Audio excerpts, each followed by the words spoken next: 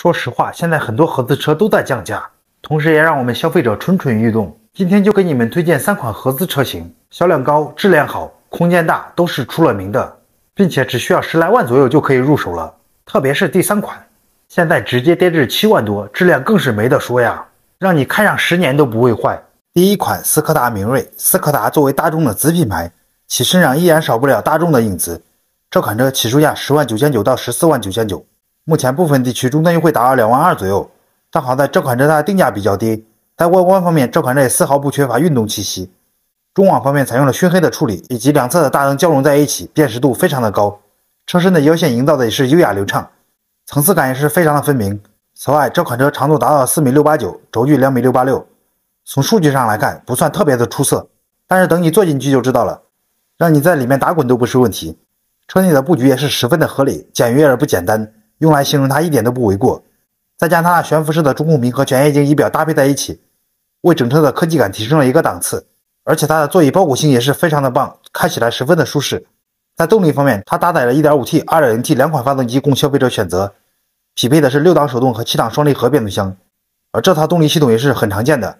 满足我们日常家用也是没有什么问题，并且在油耗这一方面表现的也是特别的好，非常值得我们去入手。第二款大众速腾，称它是同级别领域里面的销量王一点都不为过。而这款车的定位也是比较高，开出去也是非常的有面子，起售价十二万七千九到十七万两千九，目前部分地区终端优惠也是达到两万六左右。现在它的入门级裸车起步价直接跌至十万出头。在动力方面，搭载了 1.5T 发动机，动力输出也是非常的强劲。燃油经济性表现的也是非常的好，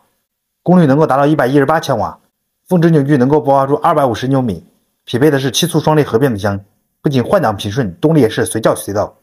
我之前开过这款车，满载的情况下，深踩油门有着不错的加速感和推背感，零百加速更是能够达到八点八秒。而在内饰方面也是非常的有档次感，贯穿式的空调出风口，看上去就充满着时尚的气息。再加上车内也是使用了大面积的软质材料进行包裹，摸上去手感十分的细腻。座椅坐上去包裹性也是非常的棒，这款车的内饰档次感表现的也是很让人满意。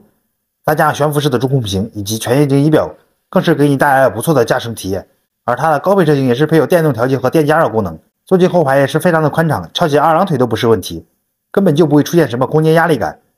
而在外观方面的设计也是焕然一新，强烈的视觉冲击力非常的强，再加上左右贯穿式的灯组，也是别具一格，辨识度非常的高。对此，你会考虑这款车吗？第三款别克英朗，起售价十一万九千九到十二万五千九，部分地区终端优惠是达到四万三左右。而现在这款车裸车起步价只需要七万七，对于消费者来说，这款车还是有着很高的性价比。而在动力方面，它虽然算不上特别的强劲，但是满足我们家用也是非常的可以。匹配的是一点五升自然吸气发动机，功率能够达到一百一十三，扭矩更是能够爆发出一百四十一牛米。匹配的是六档手自一体变速箱，而这一套动力系统在油耗方面也有着不俗的表现。非常符合上下班代步，而在外观方面，这款车设计也是辨识度极高，再加上四米六零九的车长，两米六四零的轴距，空间方面表现的也是非常的宽敞，坐进去不会出现什么拥挤感。